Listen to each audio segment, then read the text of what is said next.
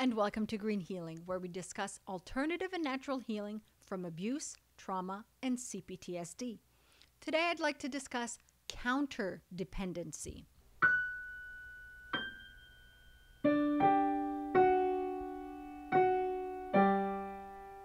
Counterdependency, like codependency, is developed and caused by childhood trauma, such as abuse, neglect, an absent parent, an alcoholic parent, an emotionally absent parent, or counterdependent parent, and such. Counterdependency comes from a lack of trust in others, and counterdependent people tend to push others away. They fear their emotions and also fear abandonment.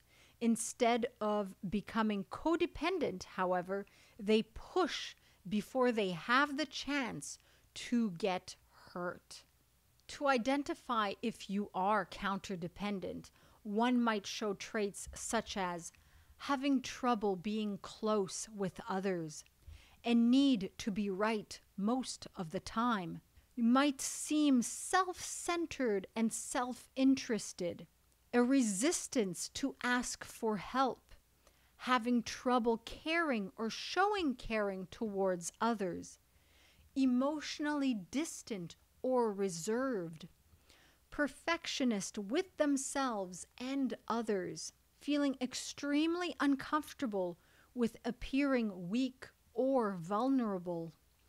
Tend to have trouble relaxing and are addicts to activity or are workaholics, tend to avoid deep emotional connection, more comfortable with superficial relationships, also comfortable with superficial sexual relationships. They tend to push people away, also fear rejection, tend to feel trapped when in a relationship typically attracted to overgiving and codependent people, and they tend to have an anxiety regarding deep relationships, whether these relationships are friendships or romantic or even family relationships. The way to heal counterdependency is similar to healing codependency one must acknowledge and identify the trauma and wounds that caused them to become this way.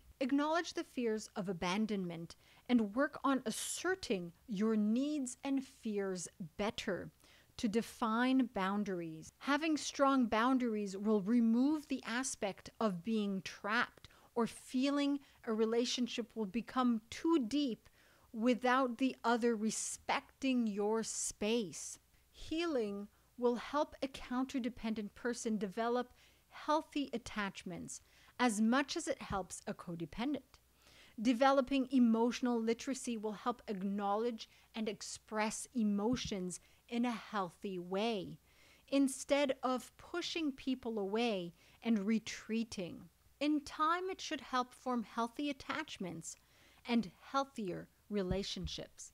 I hope this episode has been beneficial to you. If you'd like to support Green Healing, there's the Elements Healing Music with Singing Bowl, merchandise in the merch store, and the PayPal tip jar. As always, if you're watching this on YouTube, thank you for watching. If you're listening to it in its podcast form, thank you for listening. And as always, empower yourself and be emotionally free.